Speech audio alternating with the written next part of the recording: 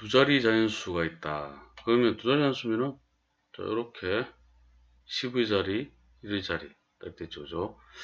10의 자리 숫자와 1의 자리 숫자의 합은 7. 그러면 여기 x라 두고 말해둡시다.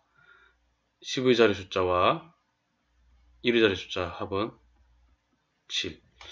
10의 자리 숫자와 1의 자리 숫자를 바꾼 수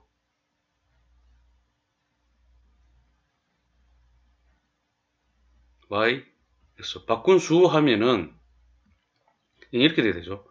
10y 더하기 x라는 수가 되죠. 처음 수보다 45만큼 작을 때 처음 수는 어떻게 됩니까? 처음 수는 요거 보게 되면은 10x 더하기 y죠.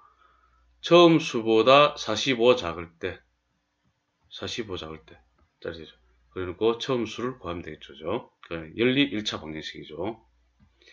그러면은, 자, 이항을 합니다. 이쪽으로 씁니다. 이항하면은, 마이너스 10x니까, 마이너스 9x, 그 다음에 플러스 9y는 마이너스 45. 양변을 9로 다 나누게 되면은, 마이너스 x 플러스 y는 마이너스 5 됩니다. 자, 이거 두 개를 더하면 되죠. 더하게 되면은 2, y는 2, y는 1. y는 1을 여기에 넣게 대입을 하게 되면은 x는 6이 되죠. 처음 수는 xy로 이루어지니까 그죠? 61이 됩니다.